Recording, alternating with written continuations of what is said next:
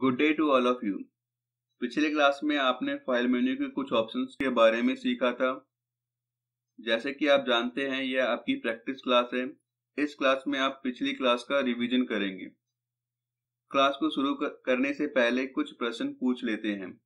क्या आप जानते हैं, अगर आप अपने डॉक्यूमेंट को वेब पेज अथवा ब्राउज़र में देखना चाहते हैं तो क्या करेंगे? डॉक्यूमेंट को वेब पेज में देखने के लिए फ़ाइल मेन्यू के preview in web browser option का उपयोग करेंगे। क्या आप बता सकते हैं कि ब्लैंक स्लाइड में टाइप कैसे करते हैं? टेक्स्ट टूल की मदद से आप ब्लैंक स्लाइड में टाइप कर सकते हैं। क्या आप बता सकते हैं इम्प्रेस डॉक्यूमेंट को किसी दूसरे यूज़र को सेंड करने के लिए किस ऑप्शन का उपयोग करेंगे?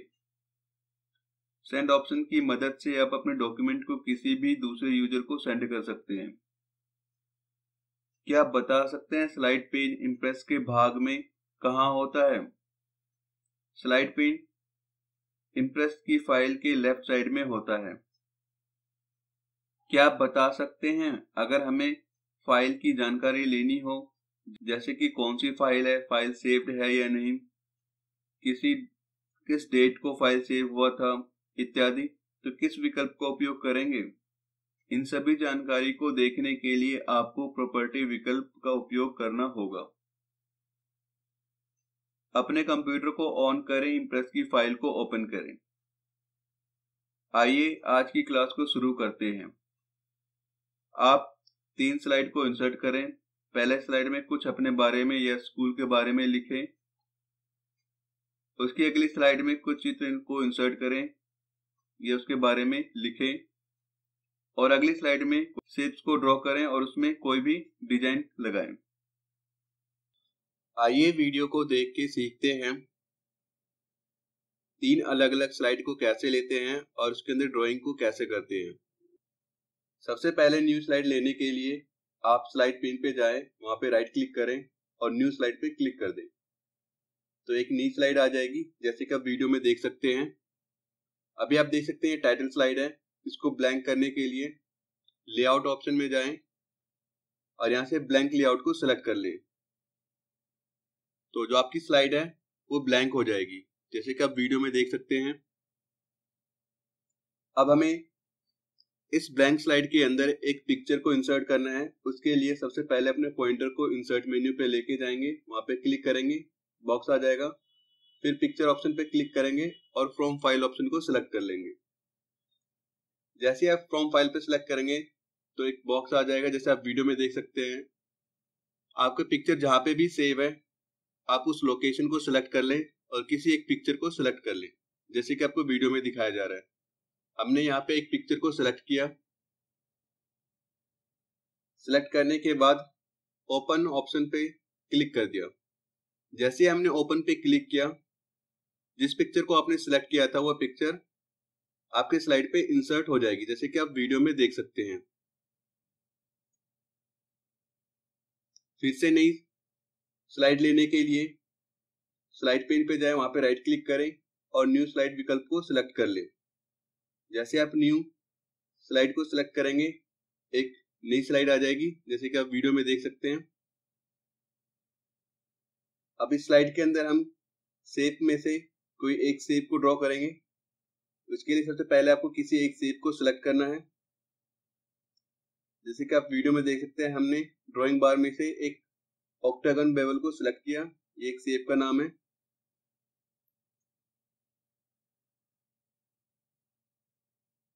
और फिर हम उसे इस तरीके से ड्रैग कर लेंगे। जैसे कि आपको वीडियो में दिखाया जा रहा है, हमने इस शेप को ड्रॉ किया।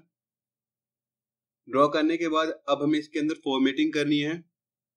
फॉर्मेटिंग करने के लिए आपको लाइन एंड फीलिंग ऑप्शन का उपयोग करना है। अगर आप लाइन के स्टाइल को चेंज करना चाहते हैं तो आप यहाँ से कर सकते हैं।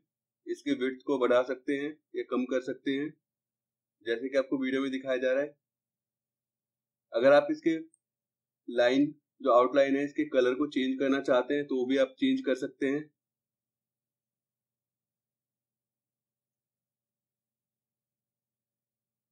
किसी भी कलर को आप सिलेक्ट कर लें। हमने इसके आउटलाइन को ब्लू कलर कर दिया। अगर इसके अंदर आपको कलर भरना है कलर फिल करना है यहाँ पे अलग अलग प्रकार के ऑप्शन दिए हुए हैं। कलर का ग्रेडियंट एचिंग बिटमैप ये अलग अलग पैटर्न अलग अलग स्टाइल है। अगर आपको इसके अंदर कलर या डिज़ाइन देना है, हमने बिटमैप ऑप्शन को सिलेक्ट किया। ये एक प्रकार का डिज़ाइन है, यहाँ पे अलग अलग डिज़ाइन उपलब्ध है, जैसे कि आप वीडियो में देख सकते हैं। किसी भी एक स्टाइल को आप सिलेक्ट कर ले, जो भी स्टाइल आप सिलेक्ट करेंगे, वह इस इमेज के अंदर उस डिज़ाइन का बन के आ जाएगा, जैसे कि आपको वीडियो में दिखाया जा रहा है। इस प्रकार से आप स्लाइड के अंदर ड्राइंग और पिक्चर को इंसर्ट कर सकते हैं। आइए अब अभ्यास शुरू करते हैं। सबसे पहले सेंड विकल्प का अभ्यास करके दिखाएँ। अगर कोई समस्या हो तो वीडियो की मदद से सीखें। आइए अब वीडियो के द्वारा सेंड विकल्प का उपयोग करना सीखते हैं। जैसे कि आप जानते हैं, सेंड विकल्प की मदद से आप अपने डॉक्यूमेंट को किसी दूसरे यूज़र को सेंड कर सकते हैं। इसके लिए आपको आउटलुक से लिंक होना ज़रूरी है। तभी आप किसी दूसरे यूज़र को आप अपना डॉक्यूमेंट सेंड कर पाएँगे। सबसे पहले फ़ाइल मेन्यू पे क्लिक करें। फ़ाइल मेन्यू पे क्लिक करने के बाद सेंड विकल्प को सिलेक्ट करें। फिर यहाँ पे डॉक्यूमेंट एज ईमेल ऑप्शन को सिलेक्ट करें। यहाँ पे आपको अलग अलग ऑप्शन दिखाई दे रहे हैं document as email email as open document presentation इससे आप अपने डॉक्यूमेंट को प्रेजेंटेशन के द्वारा भेज सकते हैं। Email as Microsoft PowerPoint presentation अगर आपको इसे पावर पॉइंट में कन्वर्ट करना है तो आप माइक्रोसॉफ्ट पावर पॉइंट में कन्वर्ट कर सकते हैं। फिर ईमेल एज पीडीएफ अगर आपको अपने डॉक्यूमेंट को डायरेक्ट पीडीएफ में भेजना है तो आप इस ऑप्शन को सिलेक्ट करेंगे। ईमेल एज पीडीएफ हमें इस डॉक्यूमेंट को डॉक्यूमेंट एज ईमेल नॉर्मल भेजना है तो इसलिए हमने डॉक्यूमेंट एज ईमेल ऑप्शन को सिलेक्ट किया। जैसे इस पे, जैसे इस पे क्लिक करेंगे, जो आउटलुक का बॉक्स है, वो ओपन हो जाएगा। जैसे कि आपको वीडियो में दिखाया जा रहा है, ये ईमेल आउटलुक का ऑप्शन है। जहाँ पे टू लिखा हुआ है आप यहाँ पे देख सकते हैं जो आपका डॉक्यूमेंट है वो इससे अटैच हो गया है। जो हमारे इम्प्रेस का डॉक्यूमेंट था वो यहाँ पे अटैच हो गया जहाँ पे टू लिखा हुआ है, वहाँ पे किसी दूसरे ईमेल किसी दूसरे यूज़र का आप यहाँ पे ईमेल आईडी टाइप करेंगे। जैसे कि आपको वीडियो में दिखाया जा रहा है, आप एग्ज़ाम्पल के लिए हमने यहाँ पे P Q E at computer Shiksha dot O R G type किया। इसी तरीके से आप भी किसी दूसरे यूज़र का ईमेल आईडी यहाँ पे टाइप कर सकते हैं और उसके बाद सेंड के बटन पे क्लिक कर देंगे तो यह डॉक्यूमेंट दूसरे यूज़र को चला जाएगा, क्योंकि हमें इस डॉक्यूमेंट को सेंड नहीं करना है किसी को, इसीलिए हम सेंड पे क्लिक नहीं करेंगे, इसे यहाँ से कैंसिल कर देंगे। फिर इसके बाद नो के ऑप्शन को हम यहाँ पे सिलेक्ट करेंगे, क्योंकि हम इसे सेव नहीं करना चाहते। अगर आपको सेंड करना है तो आप सेंड के ऑप्शन पे सिलेक्ट कर देंगे, आपको डॉक्यूमेंट सेंड हो जाएगा। तो इस प्रकार से आप सेंड विकल्प का उपयोग कर सकते हैं। अब टेम्पलेट लगा के दिखाएँ। अगर कोई समस्या हो तो वीडियो को देखें। आइए वीडियो के द्वारा टेम्पलेट ऑप्शन का उपयोग करना सीखते हैं। जैसे कि आप जानते हैं टेम्पलेट की मदद से आप पहले से ही कुछ डिफाइन कर सकते हैं। कोई टेक्स्ट या प्रेजेंटेशन या कोई भी फ़ाइल आप पहले से ही उसे बना के सेव कर सकते हैं और उसे बाद में इसका आप उपयोग कर सकते हैं। टेम्पलेट बनाने के लिए आपको सबसे पहले फ़ाइल विकल्प को सिलेक्ट करना है। फ़ाइल मेन्यू पे क्लिक करेंगे तो एक बॉक्स आ जाएगा, जैसे कि आपको वीडियो में दिखाया जा रहा है। फिर अपने पॉइंटर को टेम्पलेट ऑप्शन पे लेके आना है। तो आप यहाँ पे अलग अलग ऑप्शन देख सकते हैं। सबसे पहले आपको इसे सेव करना होगा। तो इसीलिए हम इस पे पहले सेव के ऑप्शन को सेलेक्ट करेंगे। जैसे आप सेव के ऑप्शन को सेलेक्ट करेंगे तो एक बॉक्स आ जाएगा। यहाँ पे न्यू टेम्पलेट लिखा हुआ है। यहाँ पे आप कोई भी नाम टाइप करें, जिस नाम से आपको अपने टेम्पलेट को बनाना है। हमने C S dot one two three four इस नाम से हमने टेम्पलेट को बनाया। फिर ओके के बटन पे क्लिक किया। जैसे ओके के बटन पे क्लिक करेंगे बॉक्स चला जाएगा। इसका मतलब अभी वो टेम्पलेट सेव हो गया है। लेकिन वो सिर्फ़ टेम्पलेट का ऑप्शन में आएगा। अभी पूरी तरीके से टेम्पलेट कंप्लीट नहीं हुआ है। इसे कंप्लीट करने के लिए आपको फिर से फ़ाइल मेन्यू पे क्लिक करना है। अपने पॉइंटर को टेम्पलेट ऑप्शन पे लेके आना है। फिर ऑर्गेनाइज ऑप्शन को आप सिलेक्ट कर ले। जैसे आप ऑर्गेनाइज ऑप्शन को सिलेक्ट करेंगे, इस तरीके का आपको एक बॉक्स दिखाई देगा, जैसे कि आपको वीडियो में दिखाया जा रहा है। हमने माई टेम्पलेट में सेव किया था तो माई टेम्पलेट ऑप्शन को सिलेक्ट करेंगे। यहाँ पे आप देखेंगे जो पहले से आपने जो सेव किया था जिस नाम से वो आपको यहाँ पे दिखाई देगा। हमने C S at one two three four के नाम से सेव किया था। हमने इसे सिलेक्ट किया। सिलेक्ट करने के बाद आपको कमांड पे जाना है। कमांड पे जाने पे आप यहाँ पे देख सकते हैं आपको अलग अलग ऑप्शन दिखाई दे रहे होंगे। डिलीट एडिट इंपोर्ट एक्सपोर्ट क्योंकि हमें इसे एक्सपोर्ट करना है। जब एक्सपोर्ट करेंगे तभी हमारा टेम्पलेट एक्सपोर्ट तभी हमारा टेम्पलेट कंप्लीट होगा। तो हमने एक्सपोर्ट ऑप्शन को सिलेक्ट किया। जैसे ही हमने एक्सपोर्ट ऑप्शन को सिलेक्ट किया तो ये सेव करने के लिए पूछ रहा है जहाँ पे भी आप इसे सेव करना चाहते हैं, उस लोकेशन को आप सिलेक्ट कर लें। हमने बाय डिफ़ॉल्ट डेस्कटॉप को सिलेक्ट कर रखा है और फिर नाम, उसी नाम से हमने सेव कर दिया। तो आप अब देखेंगे जो आपका ये टेम्पलेट है, वो डेस्कटॉप पे सेव हो जाएगा। इसको देखने के लिए आप अपने फ़ाइल को मिनिमाइज करें। हमने फ़ाइल को मिनिमाइज किया। मिनिमाइज करने के बाद आप देखेंगे जिस नाम से आपने डेस्कटॉप पे सेव किया था, वो टेम्पलेट आपको यहाँ पे दिखाई देगा। जब आप वहाँ पे कर्सर लेके जाएँगे तो वहाँ पे आपको टेम्पलेट लिखा हुआ आएगा। अगर आप इसे ओपन करना चाहते हैं तो डबल क्लिक करके आप इसे ओपन कर सकते हैं, या इसे आप कभी भी बाद में इसका उपयोग कर सकते हैं। इस प्रकार से आप टेम्पलेट ऑप्शन का उपयोग कर सकते हैं। अब आप सभी फैक्स के पेज की तरह एक फॉर्मेट तैयार करके दिखाएँ। अगर कोई समस्या हो तो आप वीडियो को देखें। आइए वीडियो की मदद से अपने डॉक्यूमेंट में से फैक्स फॉर्मेट में की फैक्स में कैसे क्रिएट करते हैं। इसके लिए आपको सबसे पहले फ़ाइल मेन्यू पे क्लिक करना है, फिर विजार्ट पे क्लिक करना है और फैक्स ऑप्शन को सिलेक्ट कर लेना है। जैसे आप फैक्स पे क्लिक करेंगे, एक बॉक्स ओपन होगा, जैसे कि आपको वीडियो में दिखाया जा रहा है। यहाँ पे बिज़नेस फैक्स और पर्सनल फैक्स का ऑप्शन दिया हुआ है। आप इनमें से जो भी फैक्ट्स क्रिएट करना चाहते हैं, उसको सिलेक्ट कर लें। पर्सनल फैक्ट्स को सिलेक्ट किया, फिर फैक्ट्स को सिलेक्ट कर लिया। नेक्स्ट पे क्लिक करें। फिर टाइप मैसेज में जो आप हेडिंग देना चाहते हैं, जो टाइटल देना चाहते हैं फैक्ट्स में, वो आप यहाँ से दे सकते हैं। जैसे कि आपको वीडियो में दिखाया जा रहा है फॉर योर इन्फॉर्मेशन या न्यूज़ किसी तरीके के आप इनमें से सिलेक्ट कर सकते हैं। फिर आप ग्रीटिंग में आप हाय हेलो इस तरीके के आप ग्रीटिंग यूज़ कर सकते हैं। कॉम्प्लीमेंट्री क्लोज में आप भी किसी भी ऑप्शन को आप सेलेक्ट कर लें।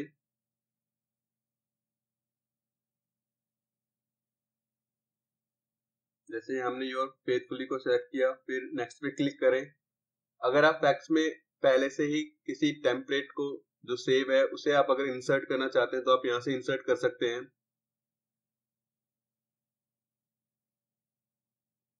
या फिर यहाँ पे make manual changes this fax template को ऑप्शन को सिलेक्ट करके आगे फिनिश पे क्लिक कर दें।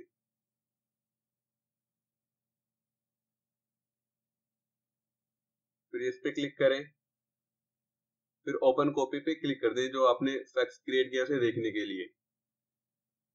जो आपने फॉर्मेट क्रिएट किया है वो आपको इस तरीके से दिखाई देगा जैसे कि आपको वीडियो में दिखाया जा रहा है। ये फैक्स का फॉर्मेट है। आप इसको इस तरीके से क्रिएट कर सकते हैं। आप लोगों के कई कंप्यूटर में ये सपोर्ट नहीं करेगा क्योंकि इसके लिए एक सॉफ्टवेयर की रिक्वायरमेंट होती है। जो जावा रिक्वायरमेंट जे आर ई होता है, वो सॉफ्टवेयर जब आपके कंप्यूटर में इंस्टॉल होगा, तभी ये सारे ऑप्शंस आपको दिखाई देंगे। तो इस प्रकार से आप फैक्स ऑप्शन का उपयोग कर सकते हैं। अब आप प्रिंटर सेटिंग का अभ्यास करके दिखाएँ। अगर कोई समस्या हो तो वीडियो को देखें। आइए वीडियो की मदद से सीखते हैं प्रिंटर सेटिंग का उपयोग कैसे करते हैं। और प्रिंटर सेटिंग के उपयोग से क्या होता है? प्रिंटर सेटिंग की मदद से आप अपने प्रिंटर को अलग अलग प्रकार से सेट कर, सेटिंग कर सकते हैं। उसे दूसरे प्रिंटर से अटैच कर सकते हैं जो उसके अंदर अलग अलग प्रकार की एडवांस सेटिंग है। आप उन सारे सेटिंग्स को अपने अकॉर्डिंग कर सकते हैं। इसके लिए सबसे पहले आपको फ़ाइल मेन्यू पे क्लिक करना है। जैसे ही क्लिक करेंगे एक बॉक्स ओपन हो जाएगा। फिर आपको प्रिंट सेटिंग ऑप्शन को सिलेक्ट करना है। तो यहाँ पर आप देख सकते हैं, जैसे प्रिंट सेटिंग ऑप्शन पे क्लिक करेंगे तो एक बॉक्स आ जाएगा। यहाँ पे जो आपका प्रिंटर अटैच है प्रिंटर यहाँ पे आपको शो करेगा।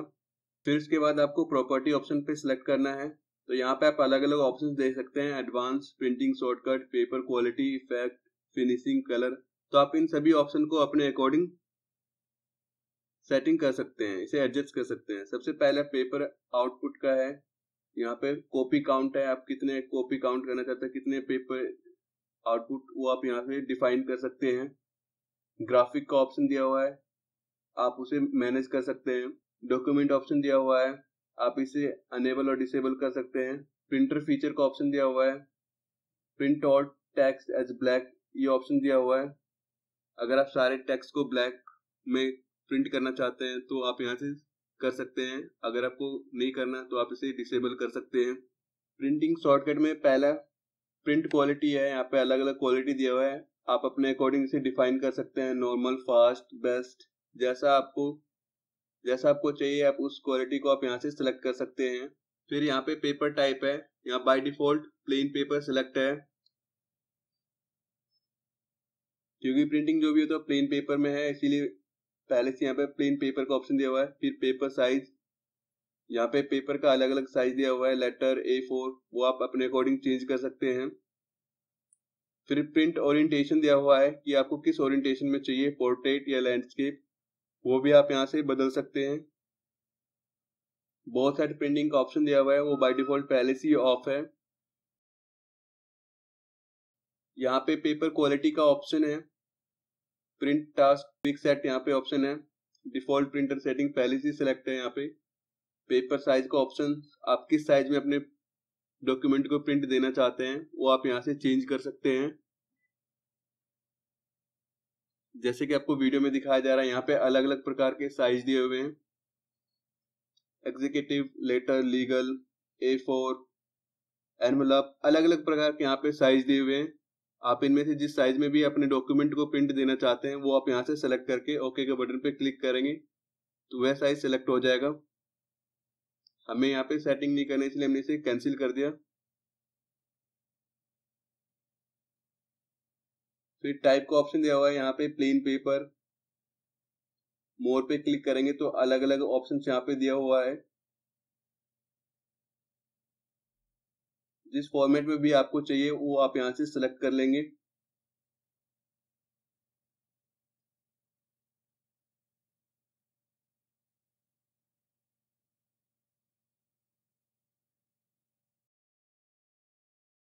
ये प्रिंट क्वालिटी का है। पहले ही आपको बता देगा कि प्रिंट क्वालिटी से क्या होता है। आप अपने प्रिंट किस क्वालिटी में चाहिए, वो आप यहाँ से डिफाइन कर सकते हैं। नॉर्मल बेस्ट जिस फॉर्मेट में भी आपको चाहिए। आप अपने अकॉर्डिंग उसे डिफाइन कर सकते हैं। अगर इन सारे ऑप्शन को सेव करना चाहते हैं तो आप ओके पे क्लिक करेंगे। जो भी आप अपने ऑप्शन सेलेक्ट किया है, वो सेव हो जाएगा। ये सेव पे क्लिक कर दें यहाँ से। क्योंकि हमें इसे सेव नहीं करना, ये सिर्फ़ आपको बताने के लिए बताया जा रहा है, इसीलिए हम यहाँ पे सेव नहीं करेंगे। अगला ऑप्शन इफ़ेक्ट का है। यहाँ पे रिसाइजिंग ऑप्शन दिया हुआ है actual size print document by default यहाँ से एक्चुअल साइज़ सेलेक्ट होता है। अगर आप उसे बदलना चाहते हैं तो आप प्रिंट डॉक्यूमेंट ऑन को सिलेक्ट करके जिस साइज़ में आपको पेपर चाहिए या प्रिंटिंग चाहिए, आप वो यहाँ से सिलेक्ट कर सकते हैं। फिर ये परसेंटेज का ऑप्शन है, जो आपका टेक्स्ट है। वो पेपर पे कितना बड़ा शो होना चाहिए, वो आप यहाँ से उसे एडजस्ट कर सकते हैं। अगर आप चाहते हैं जो आपका फ़ॉन्ट है, उसके साइज़ को कम या ज़्यादा करना चाहते हैं तो आप अपने फ़ॉन्ट के साइज़ को यहाँ से कम या ज़्यादा कर सकते हैं। अगला ऑप्शन वाटर मार्क का है।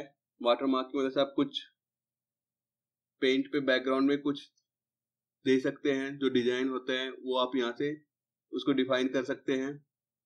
नेक्स्ट ऑप्शन फिनिशिंग का है। इसमें आपको पेज पर सीट एंड पोस्टर का ऑप्शन दिया हुआ है। कि आपको कितने पर पेज चाहिए, वो आप इसके अकॉर्डिंग यहाँ से सेट कर सकते हैं। अगर पोस्टर के साइज़ में चाहिए तो आप पोस्टर के साइज़ को आप सेलेक्ट कर सकते हैं। बड़े लेवल पर अगर आपको प्रिंटिंग चाहिए पोस्टर टाइप में तो आप यहाँ से सेलेक्ट कर सकते हैं। अपने अकॉर्डिंग उसे यहाँ से सेलेक्ट करके उसका उपयोग कर सकते हैं। यहाँ पे ओरिएंटेशन दिया हुआ है पोर्ट्रेट लैंडस्केप मिरर इमेज जैसे आपको पता है पोर्ट्रेट में इसकी हाइट ज़्यादा होता है विथ कम होता है लैंडस्केप में इसकी विथ ज़्यादा होता है और हाइट कम होता है। मिरर में जो भी आपका टेक्स्ट होगा, वो आपको अपोजिट दिखेगा अपोजिट प्रिंटिंग होगा। तो आप इस इफ़ेक्ट को भी आप यहाँ से सिलेक्ट कर सकते हैं। अगर सेव करना चाहते हैं तो सेव पे क्लिक कर दें।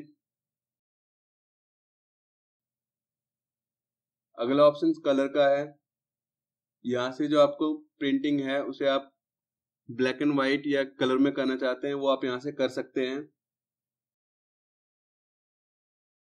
यहाँ पे अलग अलग ऑप्शन दिया है कलर ऑप्शन जैसे आपको वीडियो में दिखाया जा रहा है। प्रिंट इन ग्रे स्केल अगर आप ग्रे स्केल में करेंगे तो जो भी आपका जो है प्रिंटिंग वो ग्रे कलर में दिखाई देगा आपको। अगर उसे आप हटा देंगे, फिर वो आपका नॉर्मल जो कलर में वो ऑप्शन शो होगा। फिर ब्लैक एंड व्हाइट में है ब्लैक प्रिंट अगर ब्लैक में देना चाहते हैं तो आप ब्लैक प्रिंट को सिलेक्ट कर सकते हैं। तो इस प्रकार से आप कलर को यहाँ से चेंज कर सकते हैं। फिर ओके के बटन पे क्लिक कर दें। जो भी आपने सेटिंग को चेंज किया है वो यहाँ से सेव हो जाएगा। अगर आपको सेटिंग से, सेव करना है तो आप ओके के बटन पे क्लिक करेंगे। हमें सेटिंग को सेव नहीं करना है ये सिर्फ़ आपको दिखाने के लिए बताया गया था इसीलिए हम इसे सेव नहीं करेंगे। अगर आप सेव करना चाहते हैं तो ओके के बटन पर क्लिक कर देंगे। तो इस प्रकार से आप प्रिंटर सेटिंग का उपयोग कर सकते हैं। अब आप अपने पेज वेब ब्राउज़र को में लाकर दिखाएँ। अगर कोई समस्या हो तो वीडियो को देखें। आइए वीडियो को देखकर प्रीव्यू इन वेब ब्राउज़र का उपयोग करना सीखते हैं। जैसे कि आप जानते हैं, प्रीव्यू इन वेब ब्राउज़र की मदद से आप अपने डॉक्यूमेंट को किसी ब्राउज़र में देख सकते हैं। आप अपने डॉक्यूमेंट को इंटरनेट के पेज पे देख सकते हैं। इसके लिए सबसे पहले आपको फ़ाइल मेन्यू को सिलेक्ट करना है। सिलेक्ट करने के बाद आपको preview in web browser option को सिलेक्ट कर लेना है, जैसे कि आपको वीडियो में दिखाया गया। हमने यहाँ पे प्रीव्यू इन वेब ब्राउज़र को सिलेक्ट किया। जैसे हमने इसको सिलेक्ट किया, आप देखेंगे जो ये हमारा डॉक्यूमेंट है, यह वेब पेज में ओपन होगा।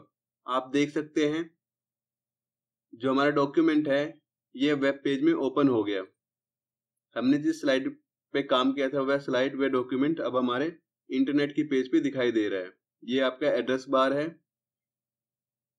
अभी यहाँ पे आप ऑप्शन देख सकते हैं first page back continue last अगर आप कंटिन्यू करेंगे तो जितने आपके स्लाइड है, आप उन स्लाइड्स को देख सकते हैं। अगर आपको फ़र्स्ट पेज पे आना है तो फ़र्स्ट पेज पे क्लिक कर दें तो आप पहले स्लाइड पे आ जाएँगे। तो इस प्रकार से आप प्रीव्यू इन वेब ब्राउज़र की मदद से अपने डॉक्यूमेंट को किसी ब्राउज़र में देख सकते हैं। अब टास्क बार में जाके अपनी फ़ाइल को सिलेक्ट कर लें। तो इस प्रकार से आप प्रीव्यू इन वेब ब्राउज़र का उपयोग कर सकते हैं। अब आप सभी अपने स्टैंडर्ड टूल बार के ऑप्शन में से सेव ओपन हाइपरलिंक के ऑप्शंस को हाइड करके दिखाएँ। अगर कोई समस्या हो तो वीडियो को देखें। आइए वीडियो को देखकर टूल बार को हाइड करना सीखते हैं। इसके लिए सबसे पहले अपने पॉइंटर को स्टैंडर्ड टूल बार के राइट साइड में, जहाँ पे आपको ड्रॉप डाउन बटन दिख रहा है, इसे कंट्रोल बटन भी बोल सकते हैं। यहाँ पे लेके आए, वहाँ पे क्लिक कर दें और फिर जाके कस्टमाइज टूल बार पे क्लिक कर दें। जैसे आप कस्टमाइज पे क्लिक करेंगे तो यहाँ पे आप अलग अलग ऑप्शन दे सकते हैं। बाय डिफ़ॉल्ट टूल बार का ऑप्शन पहले से सिलेक्ट होता है। हमें स्टैंडर्ड टूल बार में से ऑप्शन को हाइड करना है। तो टूल बार में यहाँ पे आप देख सकते हैं, पहले से ही स्टैंडर्ड टूल बार का ऑप्शन सिलेक्ट है। अब कमांड कमांड में आप देखेंगे, जिस जिस ऑप्शन को आपको हाइड करना है, उस ऑप्शन को आपको यहाँ पे अनसेलेक्ट कर देना है। जैसे कि वीडियो में दिखाया जा रहा है, हमने ओपन ऑप्शन को अनसेलेक्ट किया सेव ऑप्शन को अनसेलेक्ट किया।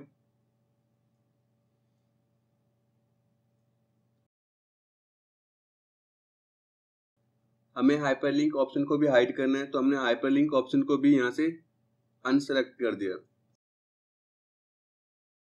फिर ओके के बटन पे क्लिक करेंगे। जैसे ही आप ओके के बटन पे क्लिक करेंगे, जिस ऑप्शन को आपने अनसेलेक्ट किया था, वो ऑप्शन स्टैंडर्ड टूल बार में से हाइड हो जाएगा। जैसे कि आप वीडियो में देख सकते हैं, वह ऑप्शन अभी आपको यहाँ पे दिखाई नहीं दे रहे होंगे। अब ये हाइड हो चुके हैं। तो इस प्रकार से आप स्टैंडर्ड टूल बार के इन ऑप्शंस को, कोई भी ऑप्शंस को आप हाइड कर सकते हैं। अब आप सभी फ़ोन व गैलरी की मदद से अपने नाम को लाकर दिखाएँ और फिर उसमें अपने अनुसार फॉर्मेटिंग करके दिखाएँ। अगर ऐसा करने में कोई समस्या हो तो वीडियो की मदद से सीखें। आइए वीडियो के द्वारा फ़ोन वर्क गैलरी का उपयोग करना सीखें। इसके लिए सबसे पहले एक स्लाइड को इंसर्ट करें। जैसे कि आप वीडियो में देख सकते हैं, यहाँ पर हमारे पास तीन स्लाइड है। तो फॉन्ट वर्क के लिए हमें एक नई स्लाइड की ज़रूरत है, इसीलिए हम यहाँ पे एक नई स्लाइड को इंसर्ट करेंगे। इंसर्ट करने के लिए आप स्लाइड पेन पे क्लिक करें और न्यू स्लाइड को सिलेक्ट कर लें। जैसे आप न्यू स्लाइड पे सिलेक्ट करेंगे, एक ब्लैंक स्लाइड यहाँ पे आ जाएगा।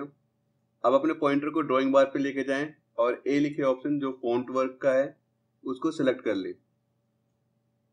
यहाँ पे फॉन्ट वर्क के बहुत सारे ऑप्शंस आपको दिखाई देंगे, जैसे कि आपको वीडियो में दिखाया जा रहा है।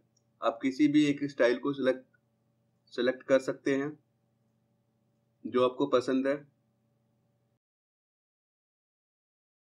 हमने इस स्टाइल को, इस फॉन्ट वर्क को हमने सेलेक्ट किया, फिर ओके के बटन पे क्लिक कर दिया। आप देख सकते हैं उसी फॉर्मेट में फॉन्ट वर्क यहाँ पे लिखा हुआ आ गया। अगर आपको इसके जगह अपना नाम या कोई टेक्स्ट लिखना चाहते हैं, इसके लिए आपको इस पर डबल क्लिक करना है। जैसे ही आप डबल क्लिक करेंगे तो यहाँ पे कर्सर आ जाएगा। फिर फॉन्ट वर्क को आप डिलीट करके आप अपना नाम लिख सकते हैं या स्कूल का नाम लिख सकते हैं। हमने यहाँ पे इम्प्रेस टू लिखा। और बाहर क्लिक कर दिया। जैसे हमने बाहर क्लिक किया तो आप देख सकते हैं, उसी स्टाइल में इम्प्रेस टू यहाँ पे लिखा हुआ आ गया। अब ये जो ब्लू कलर के डॉट्स दिखाई दे रहे हैं, आप इससे ड्रैग करके इसकी साइज़ को कम या ज़्यादा कर सकते हैं, जैसे कि आपको वीडियो में दिखाया जा रहा है। और इस येलो डॉट से आप इसको आप मूव कर सकते हैं, इसको घुमा सकते हैं, रोटेट कर सकते हैं, जैसे कि आपको वीडियो में दिखाया जा रहा है। अपने अकॉर्डिंग इसे एडजस्ट कर लें, जैसा आपको चाहिए जिस जिस स्टाइल में आपको चाहिए, उसे आप एडजस्ट कर लें। फिर अपने पॉइंटर को, जब ये सेलेक्ट होगा तो आप देखेंगे जो इसकी प्रॉपर्टी है इसकी प्रॉपर्टी यहाँ पे शो हो रहा है। यहाँ पे इसके अलग अलग ऑप्शंस दिए हुए हैं। आप इससे, इसको मूव कर सकते हैं, इसमें अलग अलग डिज़ाइन कर सकते हैं। हमने इस ऑप्शन पे सेलेक्ट किया, यहाँ पे मैट ऑप्शन को हमने सेलेक्ट किया। ये सरफेस का ऑप्शन का है। मेटल ऑप्शन आप इस फॉर्मेट में भी ला सकते हैं। अगर इसके आपको कलर चेंज करना है तो आप यहाँ से कलर चेंज कर सकते हैं, जैसे कि आपको वीडियो में दिखाया जा रहा है। हमने यहाँ पे क्लिक करके इसके कलर को थोड़ा सा चेंज किया।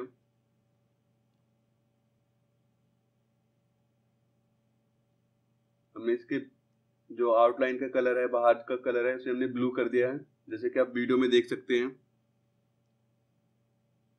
अगर इसकी आपको ब्राइटनेस को कम या ज़्यादा करना है तो भी आप यहाँ से कर सकते हैं। यहाँ पे अलग अलग ऑप्शन दिए हुए हैं, जैसे कि आप वीडियो में देख सकते हैं। अगर इसे आप डिम करना चाहते हैं ब्राइट करना चाहते हैं तो भी आप कर सकते हैं। हमने डिम पे क्लिक किया तो आप देख सकते हैं। ये डिम हो गया।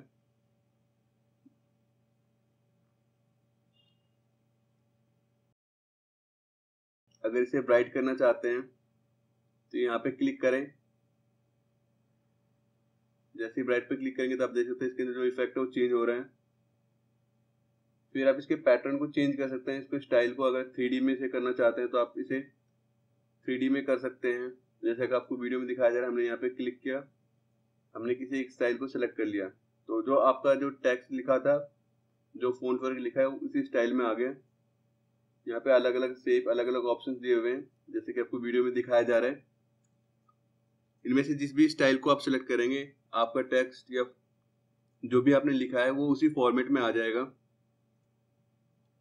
यहाँ से इसके आप, इसके विथ को बढ़ा सकते हैं।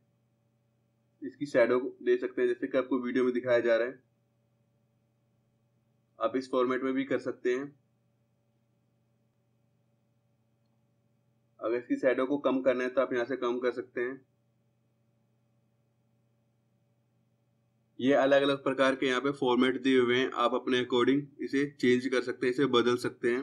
जैसा आपको पसंद है उसी स्टाइल में अपने फ़ोन वर्क को उसी स्टाइल में कर सकते हैं। तो इस प्रकार से आप फ़ोन वर्क गैलरी का उपयोग कर सकते हैं। अब आप सभी ने जो ऑप्शन जैसे कि save open hyperlink standard toolbar से हटाए थे, उनको वापस ला के दिखाएँ। अगर कोई समस्या हो तो वीडियो के माध्यम से सीखें। आइए वीडियो की मदद से सीखते हैं। जो हमने टूल बार को हाइड किया था, उसे अनहाइड कैसे करते हैं? स्टैंडर्ड टूल बार के ऑप्शन को अनहाइड करने के लिए आपको सबसे पहले अपने पॉइंटर को स्टैंडर्ड टूल बार के राइट साइड में जो कंट्रोल बार है, जो कंट्रोल बटन है, ड्रॉप डाउन बटन है, उस पर क्लिक करेंगे। फिर कस्टमाइज टूल बार पे क्लिक करेंगे। तो एक बॉक्स आ जाएगा, जैसे कि आपको वीडियो में दिखाया जा रहा है। यहाँ पे पहले से ही टूल बार ऑप्शन सेलेक्ट है और स्टैंडर्ड टूल बार सेलेक्ट है। सिर्फ़ आपको ऑप्शंस, जो ऑप्शंस जिन्हें आपने हाइड किया था, उस ऑप्शन को आपको सेलेक्ट करना है। जैसे कि आपको वीडियो में दिखाया जा रहा है, हमने ओपन, सेव ऑप्शन को सिलेक्ट किया। फिर हाइपरलिंक ऑप्शन को हमने सेलेक्ट किया। इन ऑप्शन को सेलेक्ट करने के बाद ओके पे क्लिक कर देंगे। जैसे ही ओके पे क्लिक करेंगे तो आप स्टैंडर्ड टूल बार में उन ऑप्शंस को चेक करेंगे, जो ऑप्शंस हाइड हो गए थे, वो ऑप्शंस फिर से यहाँ पे आ जाएगा। जैसे कि आपको वीडियो में दिखाया जा रहा है ओपन सेव और हाइपरलिंक ये तीन ऑप्शंस अब यहाँ पे शो हो रहा है।